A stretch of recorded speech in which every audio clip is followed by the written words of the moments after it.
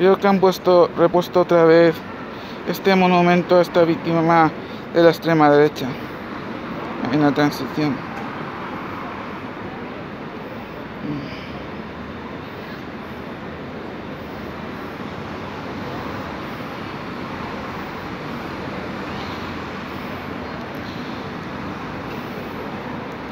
No sé qué decir. Sobre los que se han intentado cargar y lo han conseguido más de una otra vez este monumento. Tanta rabia da que hagan aquí un monumento dedicado a, una víctima de la extrema derecha. ¿En serio tanta rabia?